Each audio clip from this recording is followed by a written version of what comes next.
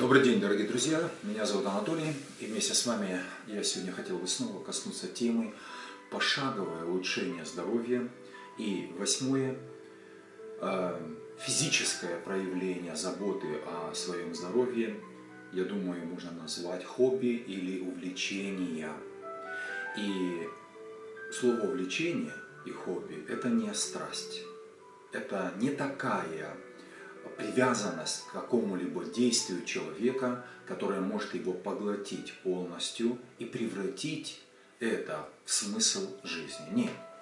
Я хотел бы вначале перечислить, что можно считать этим хобби или увлечением. Это могут быть регулярные прогулки на природе. Это может быть игра в шахматы, это может быть фотографирование, шитье, рисование, игра на каком-либо музыкальном инструменте, это могут быть стихи, это могут быть путешествия, туризм, альпинизм. И хобби, я повторюсь, это увлечение, но не страсть.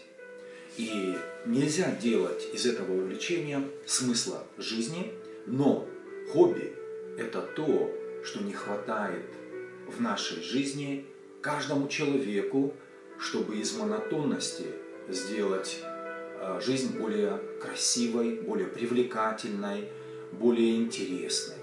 И когда люди узнают и природу, и знакомятся с другими людьми, и едут в путешествие в другие страны, это всегда идет на пользу человеку. Важно только, чтобы в хобби, в увлечениях человек знал грани, границы – за который нельзя уже переступать. Ибо альпинизм тот же или туризм могут просто поработить человека и сделать из него а, одержимого человека, который живет только этим. Нет, хобби – это увлечение, это интерес, это добро, и не только к себе, но к той же природе, к другим людям. И это пойдет на пользу. Просуждайте на эту тему, а я желаю вам Божьей милости и благодати. До свидания.